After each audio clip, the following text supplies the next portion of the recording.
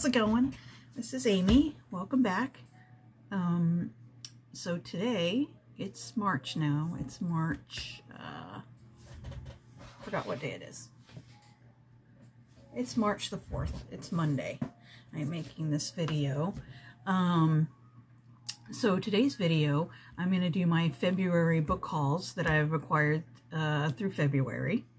And so just a little bit of idea. This, this uh, last uh, book haul, I um, I think I got the most books I've got on a book haul so far. Um, there was 20 books, I believe. So most of them came from Goodwill, which I normally... Oh, there goes a cat running through the yard. Okay. Kitty cat. Um, where was I? I get distracted very easily. Um, yes, so most of them I got, I bought at Goodwill, and I have a couple other, couple, two others. One I got at Sam's Club, and one I got off eBay. So let's show you the book. Um, the books here. Let's turn it around here. Here we go.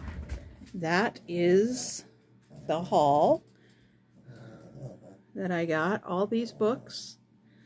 Um, yeah, so that's quite a little stack.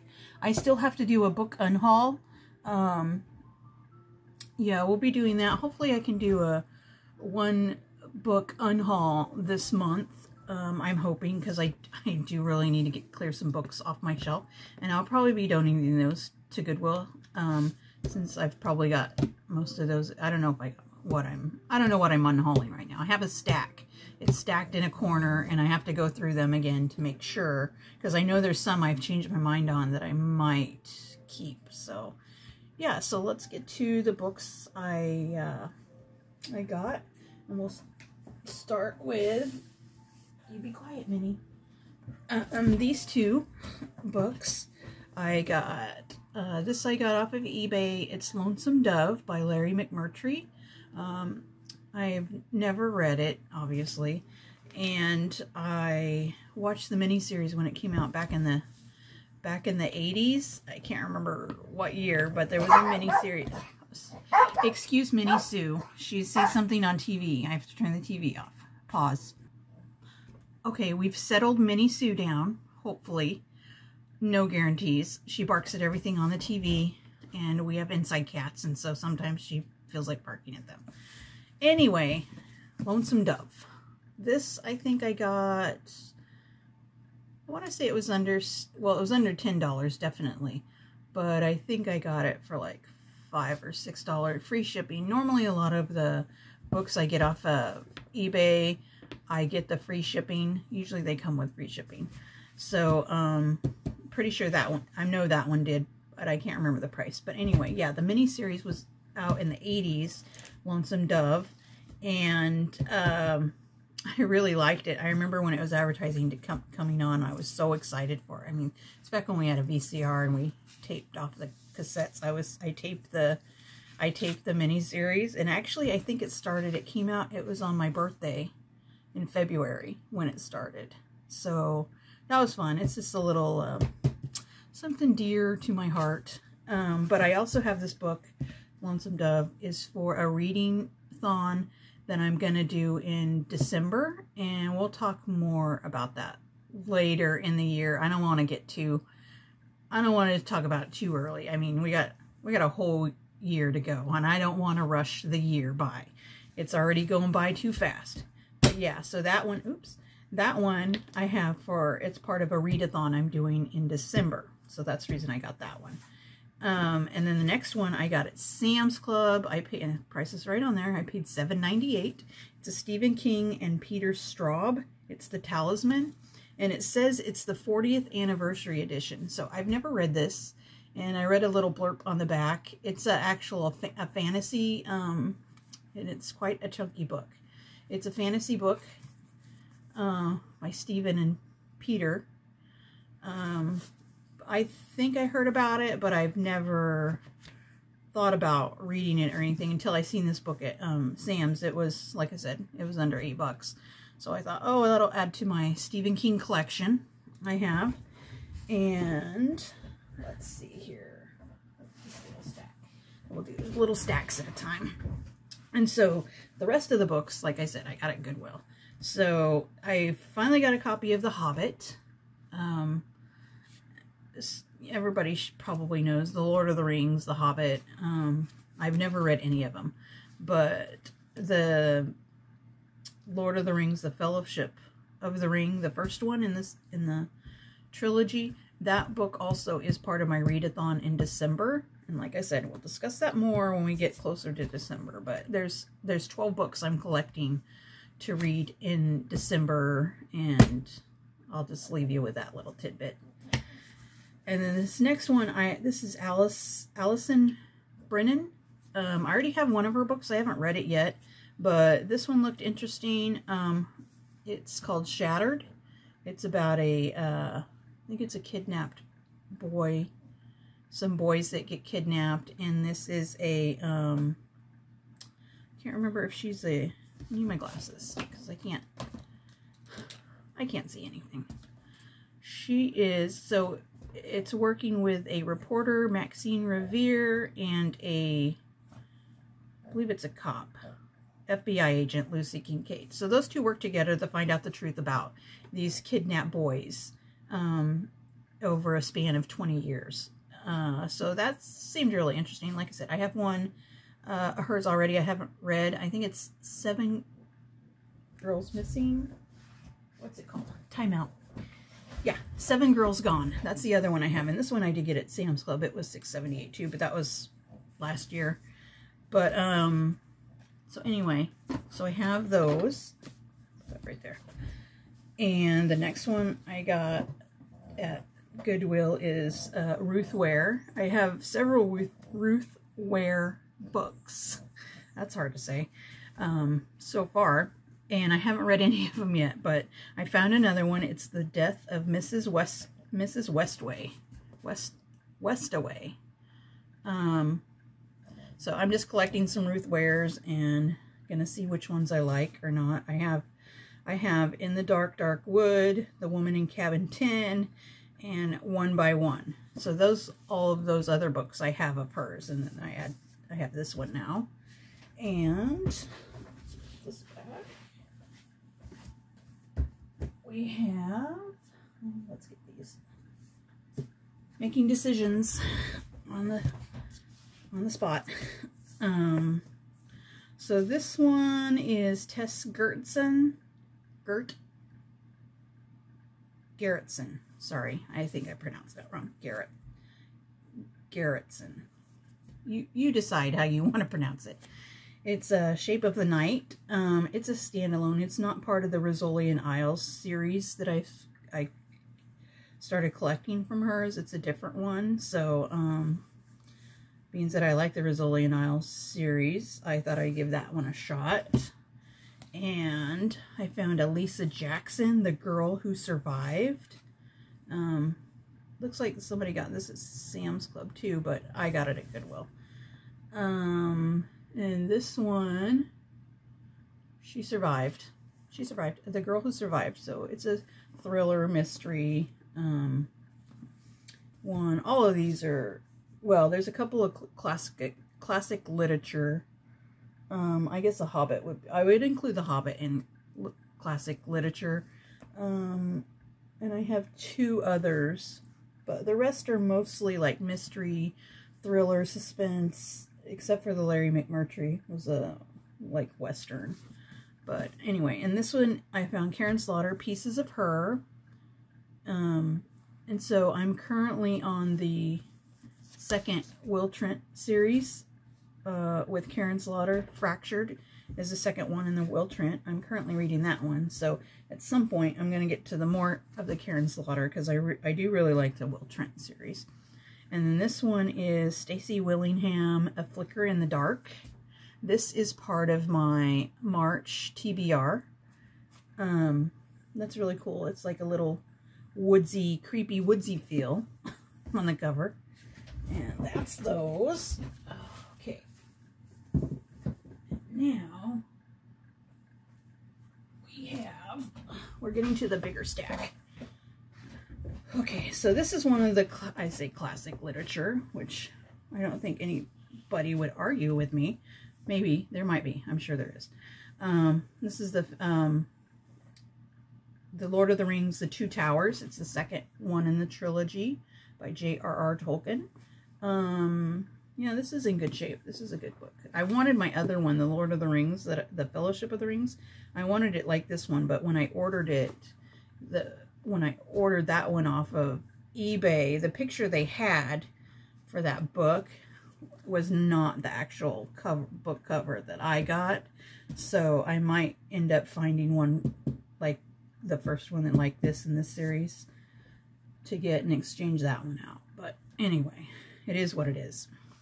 And then this one is Jacqueline Winspear, An Incomplete Revenge. This is a series, a, um, a series. The character is Maisie Dobbs.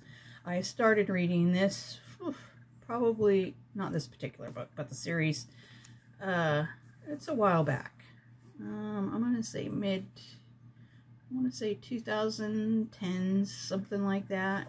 I came across it and I really like the series. It's um so the first one, their first one is just called Maisie Dobbs. This is the fourth, fifth.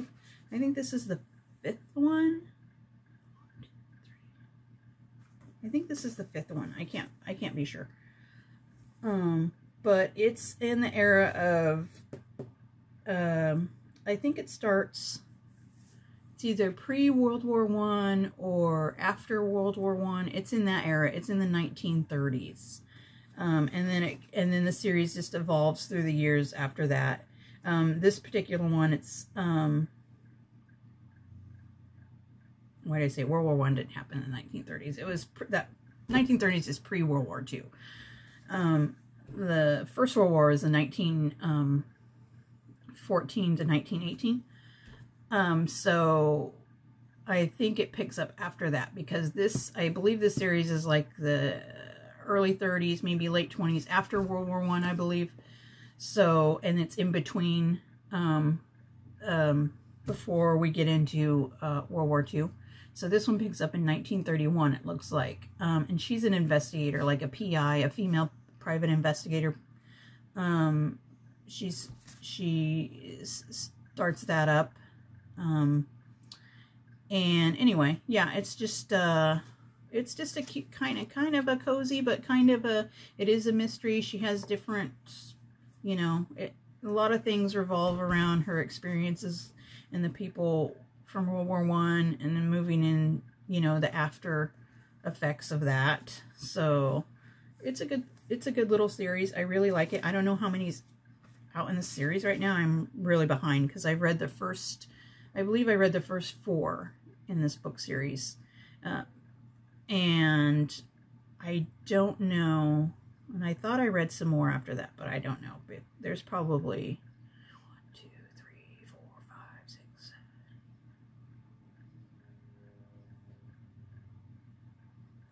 15 at least 15 maybe 16 I don't know.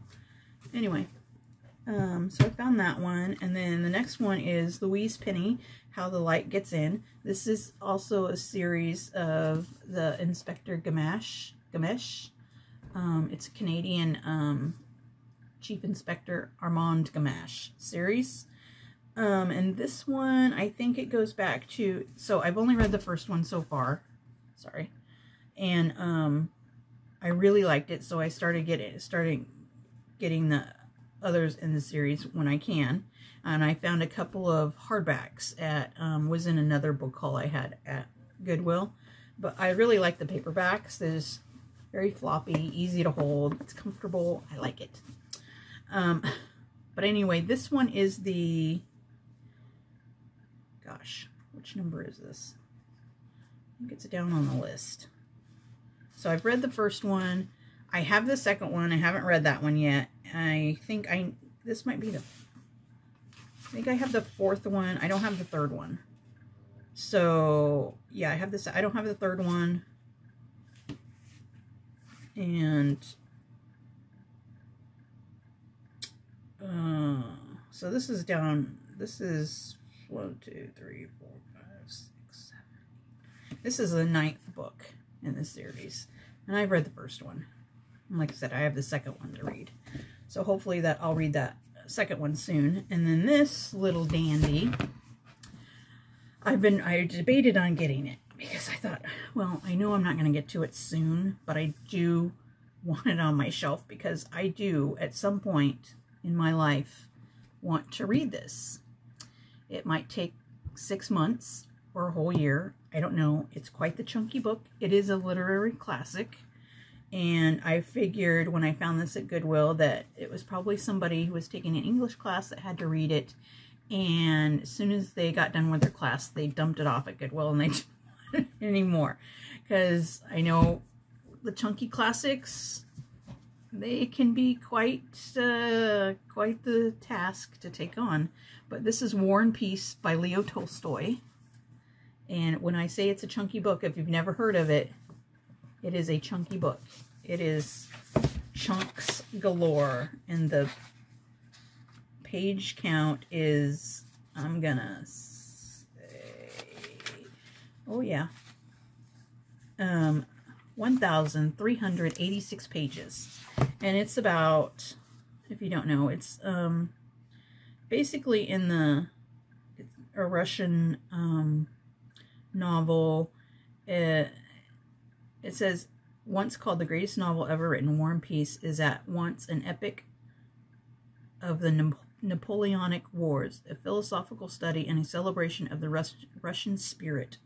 Tolstoy's genius is seen clearly in the multitude of characters in this massive chronicle, all of them fully realized and equally memorable.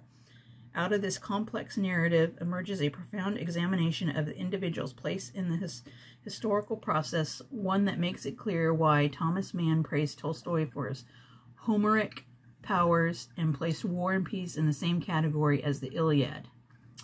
So it's a big one. It's basically, I think it was, don't quote me on it, when it was the Russian Revolution around in there. Um, that part. Uh, I can't remember exactly, but I, I know I've, I've heard about it for forever. But yeah, that's a chunky one. I might do, probably not this year, maybe next year. I, I know there's a thing going around on, um, and it's a pretty cover, on um, YouTube right now with the booktubers uh, marches, March of the Mammoths, which is mammoth, like large books, chunky books like that. And so maybe next year in March, I will try some chunky book series. Because, I, I mean, I have this one, but I have some others. I have, I also have Anna Karenina and, you know, some other chunky ones I have, I know are, um, The Thornbirds, Roots is a large book. Uh, I have, I thought I had, I don't know if I have it going to say Gone with the Wind is a chunky book, but I don't know if I have that one. But anyway, I have some, I have some big ones. Um, so maybe next year we'll get to the chunky. Um, and I also, I haven't um, bought, but I am going to get at some point, The Count of Monte Cristo. I really want that one. I'm, yeah, so I'm really wanting to read that one. Um, I'm not sure when I've been looking, I found this one at Goodwill, so maybe I'll find that one or I'll get it off of eBay. But anyway, um, let's continue on with the last little stack we have. Well, it's not a little stack. Like I said, I got 20 books in this. Well, I went to, um, I got several different hauls over the, over February. So this is a collection of all the hauls I got. I think I went about three. I think I got three or four different hauls. So, and so this next book is, I don't know what happened, something fell. Um, I, this one is Ann Cleeves The Crow Trap. Currently, I have this on audio on my Libby app, and then I found this, this one is the first in the series of the Vera Stanhope mystery series. It's a British, um, well, it's a British TV show, but it's a British uh, writer. And um, I really enjoyed the TV show, so I was super excited when I found this one. This is the first one in the series that I've been wanting to get. But bef before I got this, I had I download I downloaded the the audio on my Libby app I um, of this book. So I have the audio and the book. And I've started to read it, but I kind of put a hold, hold off on it a little bit. I'm trying to get through a couple of other books I have um, to get through for one is a February one I still didn't finish, but anyway. And so I found actually found three Ann Cleeves books at Goodwill this time. And so the other one is also in the Vera Stanhope series. This is a little wrinkled cover, but that's okay. It's called The Darkest Evening. So there's that one. And um, they're all in pretty good shape as far as pages. This is a little wrinkled, has a little rip. That's okay. I can I can tape it. Tape works.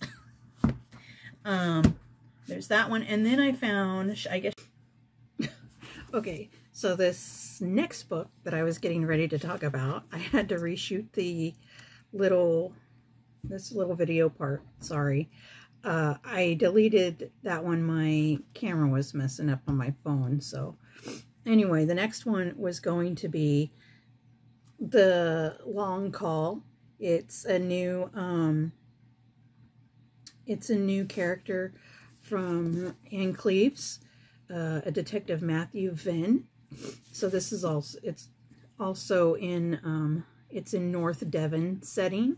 And this detective goes home to his estranged father's funeral. And then at that time, he, um, he gets a call that there was a body on a beach nearby. So he has to go to work solving the, how this guy, he was has a big old tattoo of an albatross on his neck, and he was stabbed to death. So it calls him back to his hometown, and, um, you know, as his his new life and his old life are colliding together. But uh, this looks interesting. So there's that that one. So we'll go back to continue on the video how I originally had it. It's got this sticker. I don't know if you can see it. It says Band-Aid books, book Band-Aid. I don't understand. Uh, yeah, who knows? but, uh, okay, so then we got those, and then we have the rest of them are one, two, three, four hardbacks. I got it. So this one is Night Swim by Megan Goldin. And, um, this is also on my December, uh, readathon list. I was super excited that I found this. I would have never thought I would have found this at Goodwill because this was just a random, um, I, was looking for a certain thing for December and I had decided on this one and I was going to get it off Amazon, I thought. And then I came across it at Goodwill. So this is basically about a, um, I think it's a podcaster, po true crime podcast. Um, and then she's investigating, um, I guess a new season of Rachel's. I guess there's a book before this, it seems, because it says the new season of Rachel's podcast has brought has brought her to a small town being torn apart by a devastating um, assault trial. And so I don't know if it's just in this that it's saying new season of her podcast or if there's actually a previous book. I'll have to look that up and Google it. I don't know. And then I found another one in my um, James Patterson series, uh, The 17th Suspect. It's number 17 in the um, Women's Murder Club. Uh, first edition hardback. Those are the ones I, this says Barnes & Noble exclusive edition, but it did say first edition in here. Those are the ones I, I collect for James Patterson is the hardbacks. So super excited for that one. also, I have another John Grisham because I've been behind on my John Grisham reading, but getting the books. And this is Rooster Bar. Um, so yeah, I'm not gonna I'm not gonna go over what this is about. It's just a John Grisham book. If you know, you know. Usually law school, law student, um, law school, law students. They're going to, um, I don't know. Something's gonna happen. And then the next one is also John Grisham, The Boys from Biloxi. Yeah, this is a pretty cover. I really like this cover. This is really nice. The blues and the pinks, like the sunset. And um, if you know John Grisham, I, he's from Mississippi. And um, so a lot of his, um, what should say, it usually says. So a lot of his is uh, around, it's a written in, in the South, like the setting is the South. So I'm pretty sure he was from Mississippi. I'll have to look it up. But anyway, I, I always, always, always have enjoyed John Grisham books. So hopefully that'll be, you know, good. But that is the um, book haul for my February book hauls. Like I said, there was like three or four, three, it was about three times I went to Goodwill. And then I got some, like I said, a book from Sam's, a book from eBay. And uh, yeah, I'm excited. Some of these are well, like I said, the, there was two on my December readathon I'm going to do. And then the rest, um, was there two? Yeah, two. And then the rest we'll read when we get to it. I'm excited about all those. I'm always excited about the book. I mean, aren't you always excited about your book hauls? Of course you are. Because you bought the book. You're excited to read it. So that's where we're at. And uh, yeah, I just wanted to show you what I got in um, February. And me know if you got any book hauls that you're excited about that you got in February. You can leave a comment. You can like. You can whatever you want. You want to subscribe? Go for it. Um, but we'll be coming back here with some more. I'm hoping to do a video like maybe on, I'm not sure, I haven't decided, like a update on my reading, where I'm at with my, my reading um, for the month or just in general. Let you know how it's going. Um, a lot of times I just show you the books I'm reading and then if I finish them, I give the review at the, you know, for the end of the month, for the beginning of the next month. Um, but I thought maybe it would be fun to do a little update on where I'm at with my, my reading, if I'm liking it, hating it, what's going on in the book. But uh, yeah, so that's it for today. Um, thanks for coming by. And I hope you have a good uh, day, rest of your week, whatever you want. Grab a cup of coffee, tea, milk, hot cocoa, um, and have a good one. Thanks.